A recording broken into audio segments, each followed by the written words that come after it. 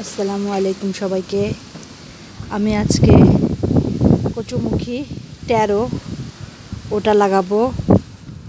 আমার এটা অনেক দিনের শখ ছিল, জানি না এটা হবে কি না তারপরে আমি ট্রাই করছি। যদি হয় তো আল্লাহর রহমতে আমি অনেক খুশি হব। কারণ এটার জন্য আমি অনেক দিন অপেক্ষা করতেছিলাম, কিন্তু মন মতো মোকালা কচু পাচ্ছিলাম না। কচুমুখী তাই আজকে আমি কয়েকদিন আগে কচুমুখীকে পলিথিনে বন্ধ করে একটা জায়গায় ঝুলিয়ে রেখেছিলাম। তখন দেখলাম এগুলোর মুখ বেরিয়ে গেছে। আর আজকে আমি লাগিয়ে দিচ্ছি। হোপ এটা হয়ে যাবে।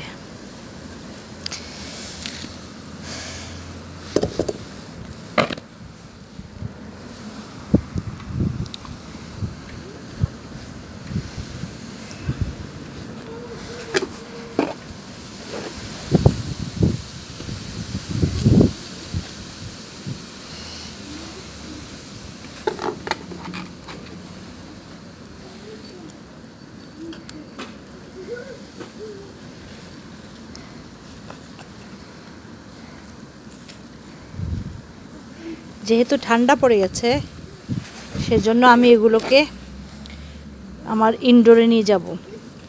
বাসার ভিতরে রেখে দিব।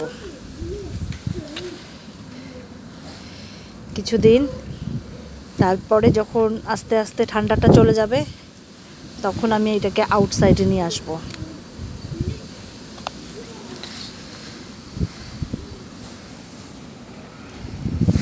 আপাতত দুটো টবে দিলাম।